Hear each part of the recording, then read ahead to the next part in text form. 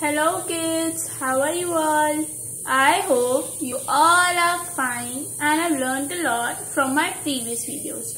So today we have given you four worksheets, okay? So I will show you which worksheets we have given you today, okay? So the first worksheet that we have given today is this.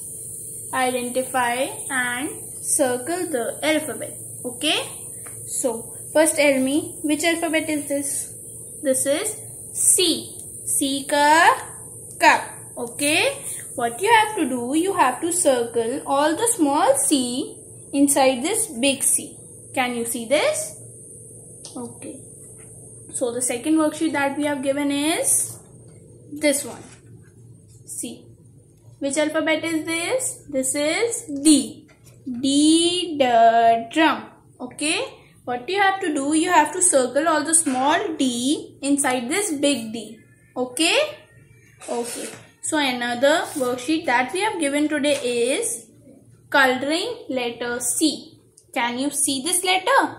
Which letter is this? This is C. C, K, K. Okay? Which letter is this? This is C. What you have to do, you have to color this C with green color. Okay?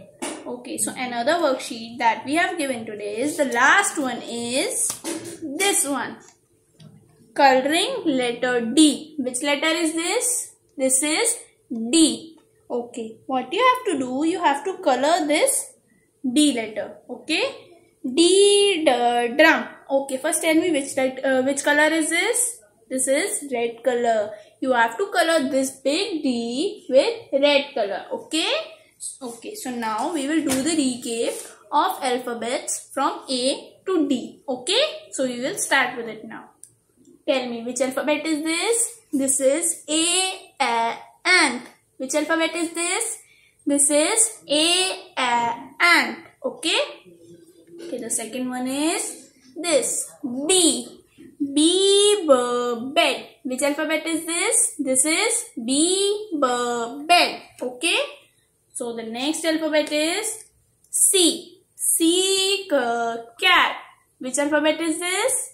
This is C cat. Okay, so the last alphabet is D. D the dog. Which alphabet is this? This is D. D the dog. Okay, so you have to do all the worksheets by your own. Okay, so we will end with this now. Thank you. Bye.